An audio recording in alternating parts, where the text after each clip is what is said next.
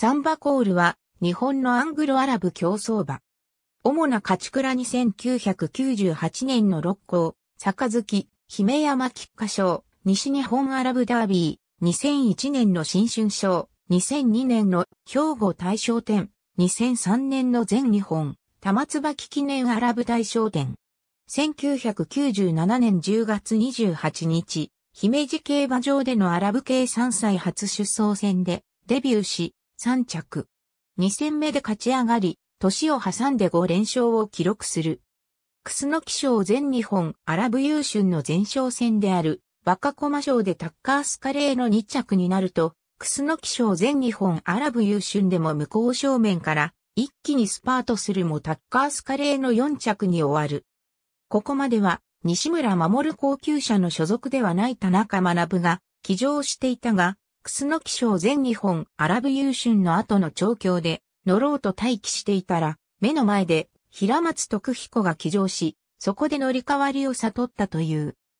平松に乗り換わって、初戦のサンスポチャレンジカップを一着とすると、六甲杯でタッカースカレーの兵庫アラブ三冠を阻止し、姫山菊花賞も勝って、重賞連勝、福山競馬場に遠征しての西日本、アラブダービーでは再び、タッカースカレーを下して、重賞3連勝とした。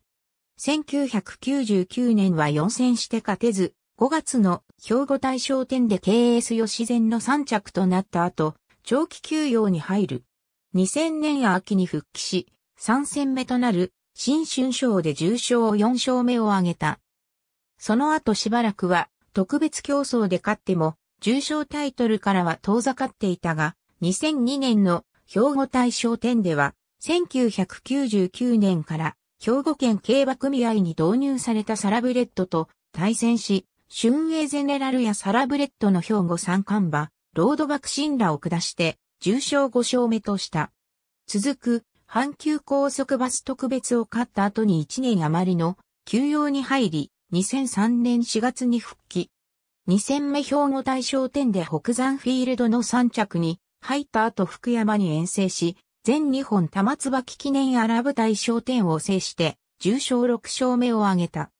その後も特別競争で3勝を挙げたが、2004年8月15日の金沢競馬場でのセール記念アラブグランプリで故障を発症して競争中止、これが最後の競馬となった。その後、2006年4月1日付で地方競馬登録が抹消され、以後の消息は不明。田中学は交番劇の後再度主戦を務め重賞を制しているが、自分を育ててくれた馬として挙げており、また、交番劇とそれをバネにした自己研鑽が父親の七光という評判から抜け出すきっかけになったという。